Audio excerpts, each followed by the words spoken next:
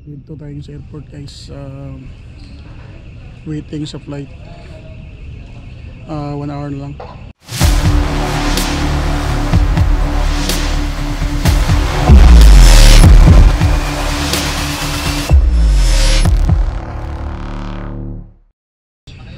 Um, kahit paano sumasahod na tayo sa YouTube. Kahit paano konti-konti lang muna And I'm excited na kasama ko yung asawa ko, ang ko sa pag-vlog while uh, waiting sa maplaya na trabaho.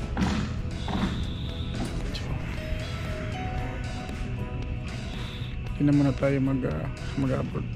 Kasi nga, mahirap na. Mahirap na dito sa Saudi. Para pagod na dito sa Saudi. للوقاية من حدث كورونا الجديد احرص على غسل يديك بالماء ito yung pan والصابون guys pakita ko sa inyo yung uh, bagong airport ng Dear passengers, to prevent Jeddah. the coronavirus, yan be sure to wash your hands with salt and water on a continuous basis. yung sila waiting area yan dyan dito na yung board uh, lagay ko ng board na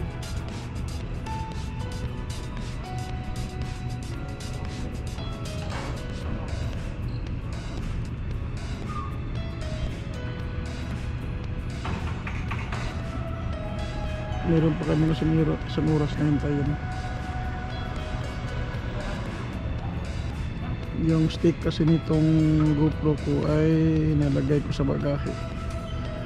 Kasi last minute na ako nag-impake kanina. Dahil ay nagpa-dispid nagpa-dispedida pa si sila Kuya Janry sa sa Manila lahat dun sa bahay nagpa-dispedida pa so, yung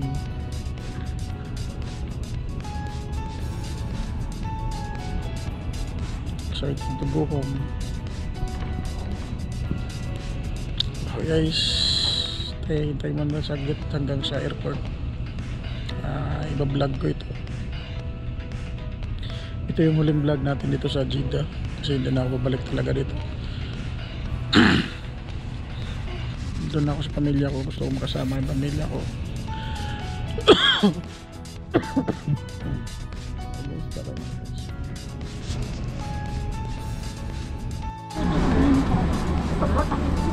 Guys, tara na, labas airport ah.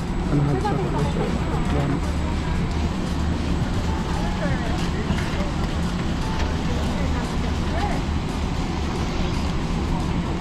Bus trip guys.